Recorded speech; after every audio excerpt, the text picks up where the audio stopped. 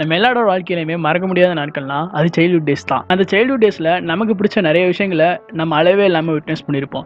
அதெல்லாம் இப்போ நினச்சாலும் கூட நம்மளால் அனுபவிக்கவே முடியாது. எத்தனை பேர் உங்கள் சைல்டுஹுட்டில் ஜெட்டிக்ஸ் அப்படின்ற ஒரு சேனல் பார்த்த ஞாபகம் இருக்குது ஆர் அட்லீஸ்ட் ஜெட்டிக்ஸ் அப்படின்ற பேரையாவது நீங்கள் இதுக்கு முன்னாடி கேள்விப்பட்டிருக்கீங்களா? ஜெட்டிக்ஸ் அப்படின்ற பேரை கேட்ட உடனே அடுத்த செகண்டில் நம்ம கண் முன்னே பல நினைவுகள் வந்து போகும். ஏன்னா அது இப்போ வரைக்குமே நைன்டிஸ் அண்ட் ஏர்லி டூ கிட்ஸோட சைல்டுஹுட்டோட ஒரு அங்கம் அப்படின்னே சொல்லலாம்.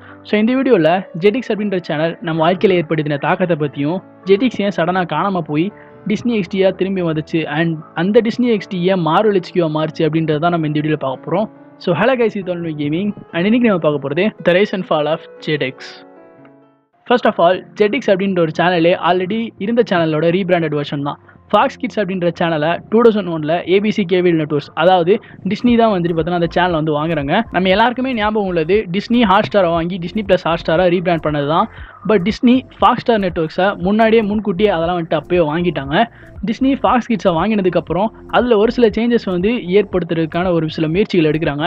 நார்மலாகவே ஒரு கார்ட்டூன் சேனல்ஸில் இருக்கிற மாதிரியான கிளீஷியமான கார்ட்டூன் ஷோஸ் இல்லாமல் இதில் கொஞ்சம் டிஃப்ரெண்ட்டான ஆக்ஷன் அண்ட் அட்வென்ச்சர் ஜான்ராவை இந்த சேனலில் கொண்டு வரணும் அப்படின்னு சொல்லிட்டு முயற்சி எடுக்கிறாங்க. ஸோ அந்த வருஷத்தில் two thousand four February fourteen அதாவது வேலண்டைன்ஸ் டே அன்னைக்கு Fox network and Walt Disney இவங்க ரெண்டு பேருமே சேர்ந்து ஃபாக்ஸ் கிட்ஸ் அப்படின்ற சேனலை ஜெட்டிக்ஸ் அப்படின்னு சொல்லிட்டு ரீபிராண்ட் பண்ணுறாங்க ஸோ இப்படி ரீபிராண்ட் பண்ணுறது மட்டும் இல்லாமல் ஜெட்டிக்ஸ் அப்படின்ற பேர் எப்படி வந்தது அப்படின்னு கேட்டிங்கன்னா அந்த சேனல் வரதுக்கு முன்னாடியே வேர்ல்டு வைடாக உள்ள பல கிட்ஸ்கிட்ட இந்த மாதிரியான ஒரு கணக்கெடுப்பு மாதிரி எடுத்ததில் அதில் வந்து பல கிட்ஸால் சூஸ் பண்ணப்பட்ட நேம் தான் வந்து பார்த்தீங்கன்னா ஜெடிக்ஸ் அண்ட் அதனால தான் ஜெடிக்ஸ் அப்படின்ற பேருக்கு இப்போவும் ஒரு தனி மவுஸ் இருக்குது ஜெடிக்ஸ் யூனிக்காக இருக்கிறதுக்கான காரணமே அது ஆறுலேருந்து பதினாறு வயசுக்கு மேலே உள்ள பசங்களுக்கான ஒரு சேனலாக இருந்ததுனால தான். இதில் ஒளிபரப்புற ஷோஸ் எல்லாமே அவ்வளோ சூப்பர் எக்ஸைட்டிங்கான ஷோஸாக இருந்துச்சு.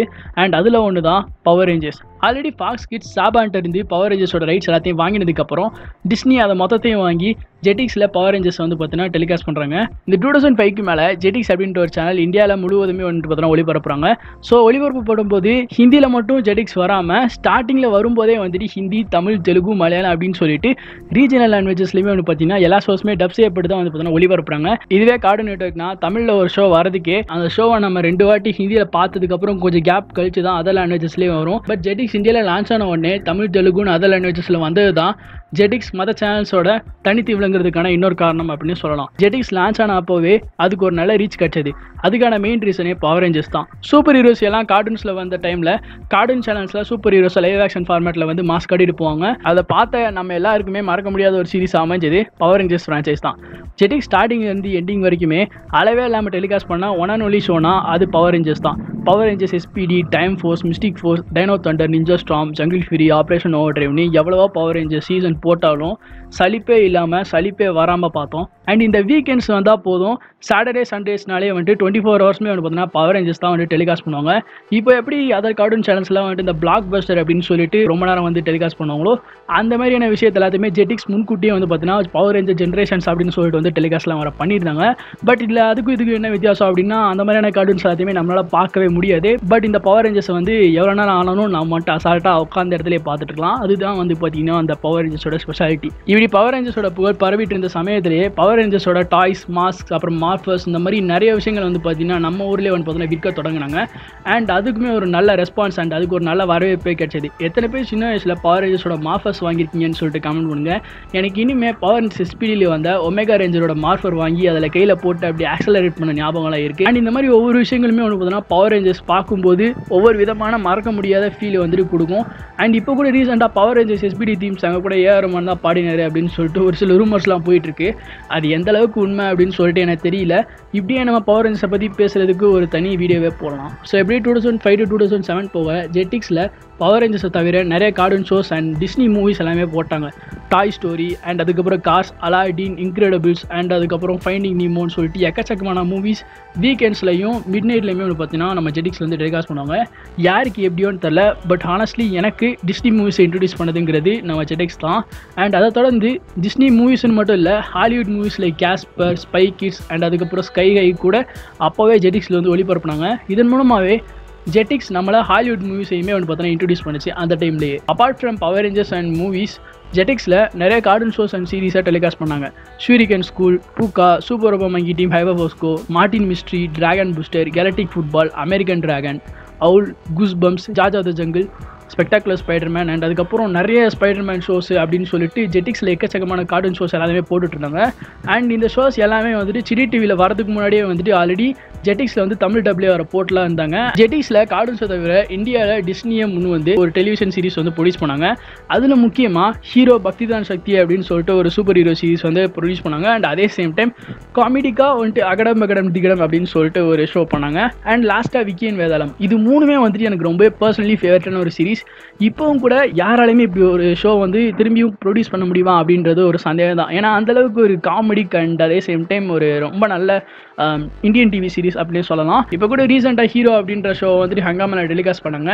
அண்ட் ஜெட்டிக்ஸில் வந்துட்டு Dennis the Menace Pucca and Shuriken School and லாஸ்ட்டாக கூஸ் பம்ஸ் தான் என்னோட டாப் ஃபேவரட் ஷோஸ் ஜெட்டிக்ஸில் டெலிகாஸ்ட் ஆனால் உங்களுக்கு பிடிச்ச ஃபேவரட்டான cartoon shows and power ranger சீரிஸாக மாறாமல் கீழே கமெண்ட்ஸில் தட்டி விடுங்க. இதுக்கப்புறம் ஜெட்டிக்ஸ் கிட்ஸோட நம்பர் ஒன் சேனல் ஆனதுக்கப்புறம் என்னடா இது நம்ம ப்ரொடியூஸ் பண்ண ஷோஸை விட பவர் ரேஞ்சர்ஸ் மாதிரியான ஷோஸ்க்கு தான் நிறைய லைக் வியூஸ் uh, கிடைக்குது அப்படின்னு சொல்லிட்டு டிஸ்னிக்கு ஒரு எண்ணம் வர சடன்லி ஜெட்டிக்ஸ் டூன் டிஸ்னியில் வர ஷோஸ் எல்லாத்தையுமே ஒரு நாளைக்கு ஃபோர் டு சிக்ஸ் ஹவர்ஸ் மாதிரி டெலிகாஸ்ட் பண்ணுவாங்க. அதில் ஒரு சில ஷோஸ் சுமாராக இருந்தாலும் டிமோன் அண்ட் பூம்பா நான் அதில் இருந்தால் பார்க்க ஆரம்பித்தேன் அண்ட் அந்த ஒரு விஷயத்தில் வந்து நம்ம டூன் டிஸ்னியை வந்து பாராட்டிடலாம். இப்படி இடையில இடையில டூன் டிஸ்னி வியூவர்ஸ் அவங்க ஷோஸை டெலிகாஸ்ட் பண்ண போய் நமக்கு பிடிச்ச ஷோஸை பார்க்க முடியாத சூழ்நிலையும் வந்து பார்த்தீங்கன்னா இடையில இடையில உருவானது. இதுக்கப்புறம் ஸ்டில் ஜெடெக்ஸ் அதே ஃபார்மில் தான் இருந்தது.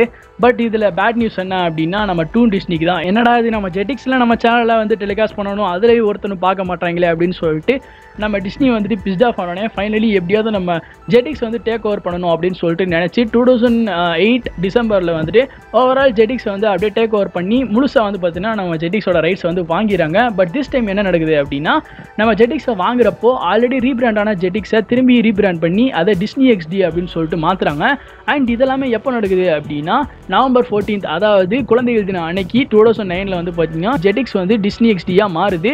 எப்படி like Valentine's day two thousand ஃபோரில் ஆரம்பிச்சு டூ தௌசண்ட் நைன் சில்ட்ரன்ஸ் டேல வந்து பார்த்தீங்கன்னா டிஸ்னி எக்ஸ்டியாக வந்துட்டு திரும்பி ரீபிராண்ட் செய்யப்படுது. அண்ட் இதுக்கான ப்ரொமோஷன் வேலைகள் எல்லாமே வந்துட்டு சிறப்பாக செஞ்சுட்டு இருந்தாங்க. ஈவன் கலைஞர் டிவியில் கூட வந்து பார்த்தீங்கன்னா இதற்கான அட்வர்டைஸ்மெண்ட் எல்லாமே போட ஆரம்பிச்சாங்க. அண்ட் அதர் நியூஸ் சேனல்ஸ்லாம் எனக்கு பார்த்த ஞாபகங்கள் எல்லாமே இருக்குது டிஸ்னி எக்ஸ்டியை பொறுத்தளவுக்கு அதனுடைய டைட்டில் மட்டும்தான் வந்து பார்த்தீங்கன்னா வேறு மாதிரி இருந்ததை தவிர ஜெட்டிக்ஸில் இதுக்கு முன்னாடி என்னென்ன ஷோஸ்லாம் போட்டிருந்தாங்களோ அதே தான் வந்து பார்த்தீங்கன்னா டிஸ்னி எக்ஸ்டியில் வந்து டெலிகாஸ்ட் பண்ணிட்டு இருந்தாங்க. பவர் ரேஞ்சர்ஸ் டெலிகாஸ்ட் ஆகிட்டு இருந்தது. இதுக்கு முன்னாடி டெலிகாஸ்ட் ஆன ஷோஸுமே வந்து பார்த்தோன்னா டெலிகாஸ்ட் ஆகிட்டு இருந்தது. அண்ட் அதே சேம் டைம் இப்படியே போயிட்டு இருக்க டூ தௌசண்ட் டென் வரப்போ பவர் ரேஞ்சர்ஸ் வந்து அப்படியே கம்ப்ளீட்லி ஸ்டாப் பண்ணிட்டாங்க. இதுதான் வந்து பார்த்திங்கன்னா ஆக்சுவலி நம்ம எல்லாத்துக்குமே ஒரு சேடஸ்டான நியூஸ் அண்ட் அப்படி ஒரு பிரேக்கப்பான ஒரு சூழ்நிலை இருக்கிறப்ப தான் நம்ம எல்லாத்துக்குமே கை கொடுக்குற மாதிரியான ஒரு ஷோ வந்தது. அதுதான் கிக் பட்டோஸ்கி அப்படின்னு சொல்லிட்டு ஒரு ஷோ என் தலைவர் சிங்க வந்துட்டான்டா. இவனை மட்டும் கார்கிலுக்கு ஒண்டி அனுப்புனா போகும்டா பனிமலை எரிமலையா மாறும்டா. இவன் நடையப்பார் உடையப்பார் தலையப்பார். அண்ட் அது மட்டும் இல்லாமல் கிக் பட்டோஸ்கியோட சேர்ந்து Phineas and Ferb and Kid versus Kat இந்த மூணு கார்ட்டூன்ஸையுமே நான் டிஸ்னியோட பிக் த்ரீ அப்படின்னே சொல்லுவேன். ஏன்னா இந்த மூணு கார்ட்டூன்ஸுமே வந்துட்டு யாராலுமே அடிச்சுக்க முடியாது. ஏன்னா அந்தளவுக்கு கிட்ஸோட மனசில் ஒரு தாக்கத்தை ஏற்படுத்தி ஒரு ஃபேவரட்டான ஒரு கார்ட்டூன் ஷோ ஆகுறது அப்படின்றது வந்துட்டு ஒரு சாதாரணமான விஷயம் இல்லை. பட் அந்த ஒரு விஷயத்தில் கிக் பட்டோஸ்கி அண்ட் அந்த Kid versus Kat and lastly Phineas and Ferb வந்து ஒரு நல்ல முயற்சி எடுத்து நல்லாவே வந்து டிஸ்னி ஹெச்சில் வந்து டெலிகாஸ்ட் ஆகி நல்ல ஒரு ரீச் கிடச்சது அதுக்கு. இதை மூணையுமே கான்ஸ்டண்ட்டாக நம்ம டிஸ்னி எக்ஸ்டி டெலிகாஸ்ட் பண்ணிட்டு இருந்த சமயத்தில் என்னதான் ஜெட்டிக்ஸ் லெவலுக்கு டிஸ்னி எக்ஸ்டி இல்லாட்டினாலும் அட்லீஸ்ட் ஃபேன் ஃபாலோவிங் நம்ம டிஸ்னி எக்ஸ்டிக்கு இருந்தது. And one of a favourite kids சேனல்லையுமே வந்து பார்த்தீங்கன்னா டிஸ்னி எக்ஸ்டிக்கு ஒரு இடம் கண்டிப்பாக இருந்தது.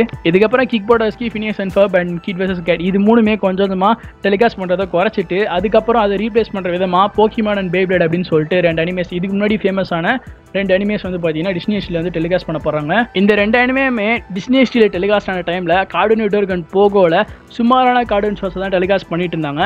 ஸோ அப்போ போக்கிமான் அண்ட் பேபிளே டெலிகாஸ்ட் பண்ணது ஒரு விதமான ஆறுதலை தான் தந்துச்சு.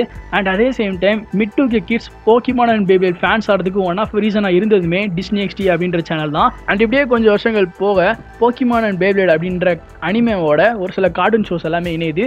அண்ட் அந்த கார்டூன் ஷோஸ் எல்லாமே மார்வல் காமிக்ஸை பேஸ் பண்ணி வந்த ஒரு சில கார்டூன் ஷோஸ் உங்களுக்கே தெரியும் ultimate Spiderman Marvel Avengers Assemble நடந்ததுக்கப்புறம் நம்ம ஹல்க் வச்சு ஒரு ஷோ ஒன்று இருக்கும். அண்ட் இந்த மாதிரியான ஷோஸ் எல்லாமே வந்து பார்த்தோன்னா நம்ம டிஸ்னி எக்ஸில் இணையுது. அண்ட் இதுவுமே வந்து பார்த்தீங்கன்னா ஒரு சுமாரான ஒரு கார்டூன் சேனலாக தான் இருக்குது அண்ட் இப்படியே போயிட்டு இருக்கு அவெஞ்சர்ஸ் இன்ஃபினிட்டி வார் அப்படின்னு சொல்லிட்டு ஒரு மூவி வந்ததுக்கப்புறம் ஆர்வல் ஃப்ரான்ச்சைஸ்க்கு இந்தியாவில் நிறைய மவுஸ் இருக்குது அப்படின்னு சொல்லிட்டு தெரிஞ்சுக்கிட்டு நம்ம டிஸ்னி எக்ஸ்டி முழுக்க முழுக்க டிஸ்னி எக்ஸ்டி அப்படின்ற ஒரு சேனலில் இதுக்கு முன்னாடி போட்ட கார்டூன் ஷோஸ் அதாவது மார்வல் பேஸ்டு கார்டூன் ஷோஸ் எல்லாத்தையுமே ரிப்பீட்டடாக வந்து பார்த்தீங்கன்னா போட ஆரம்பிக்கிறாங்க. இதற்கிடையில் இடையில ஷோ அண்ட் அல்ட்ரா பி மாதிரியான கொடமோ அனிமேஸ் எல்லாமே வந்துட்டு டிஸ்னேஷில் டெலிகாஸ்ட் பண்ணாலும் எதுவுமே கை கொடுக்கல. அண்ட் இப்படியே போயிட்டு இருக்க இந்தியன் கார்டன்ஸ் கூட நம்ம டிஸ்னேஷன்லாம் அவர் டெலிகாஸ்ட் பண்ணாங்க. அண்ட் அதுவுமே வந்துட்டு ரெஸ்கியூம்படியாக இல்லை. அண்ட் ஃபைனலி என்னது அப்படின்னா டிஸ்னி எக்ஸ்டிஏ மாரல் எக்ஸ்கியூ அப்படின்னு சொல்லிட்டு டூ தௌசண்ட் நைன்டீனில் வந்து பார்த்தீங்கன்னா அப்படியே ரீபிராண்ட் செய்யப்படுறாங்க ஒரு சேனலுக்கு எத்தனை ரீபிராண்டிங்கடா பண்ணுவீங்க அப்படின்ற மாதிரி இவங்க கதை போயிட்டு இருக்கிற சமயத்தில் இப்படி தான் கைஸ் ஜெட்டிக்ஸ் அப்படின்ற சேனல் அதோட வீழ்ச்சியை சந்திச்சது. அண்ட் அதே சேம் டைம் இப்படி தான் டிஸ்னி எக்ஸ்டியும் அதோட வீழ்ச்சியை சந்திச்சது. அண்ட் இப்போ கூட மாரல் எக்ஸ்கியூவில் பேபியட் பாஸ்லாம் போகிறாங்க அப்படின்னு சொல்லிட்டு கேள்விப்பட்டேன். அது எந்த அளவுக்கு மாரல் எக்ஸ்கியூக்கு உதவி செய்யுது அப்படின்னு சொல்லிட்டு எனக்கு தெரியல. பட் ஸ்டில் மாரல் எச்கியூ அப்படின்றது வந்து பார்த்தீங்கன்னா ஜெட்டிக்ஸ் அளவுக்கு வரவே முடியாது. ஏன்னா ஜெட்டிக்ஸ் அப்படின்றது இந்தியாவை பொறுத்த வரைக்கும் ஒரு பெஸ்ட்டான ஒரு கார்ட்டூன் சேனல் அப்படின்னு தான் நான் சொல்லுவேன். அந்த சேனலில் அடைஞ்ச ரீச் மாதிரி இதுக்கப்புறம் எந்த சேனலுமே அந்த சேனலுக்கு நிகராக வந்துட்டு அதோட வளர்ச்சி வந்து யாராலையுமே வந்து அடைய முடியாது அப்படின்றதா என்னோட கருத்து. அண்ட் இதற்கெல்லாமே முழுக்க முழுக்க முழுக்க மூலக்காரன் யார் அப்படின்னா டிஸ்னி தான். டிஸ்னியோட சுயநலத்தினால தான் வந்து பார்த்தீங்கன்னா ஜெட்டிக்ஸ் சம்பவாக போயிடுச்சு அண்ட் அதுதான் என்னோட ஒப்பீனியனும் கூட. ஸோ நீங்கள் என்ன நினைக்கிறீங்க அப்படின்றத கமெண்ட்ஸை தட்டி விடுறது மட்டும் இல்லாமல் உங்களோட வாழ்க்கையில் ஜெட்டிக்ஸ் ஏற்படுத்தின தாக்கத்தை என்னோட மறக்காமல் கமெண்ட்ஸில் ஷேர் பண்ணிக்கோங்க. அண்ட் ஜெட்டிக்ஸை பார்த்தவங்க இந்த வீடியோ பிடிச்சிருந்தா லைக் பண்ணிவிட்டு நம்ம சேனலையும் சப்ஸ்கிரைப் பண்ணி சப்போர்ட் பண்ணுங்கள் அண்ட் வேறு ஏதாவது வீடியோ வேணுனாலும் நீங்கள் கமெண்ட்ஸில் எங்கிட்ட வந்து தாராளமாக ரெக்வஸ்ட் பண்ணலாம். அண்ட் இதோட இந்த வீடியோ நான் முடிச்சுக்கிறேன். நான் உங்களை இடத்துல சந்திக்கிறேன். அது வரைக்கும் take care and thanks for வாட்சிங்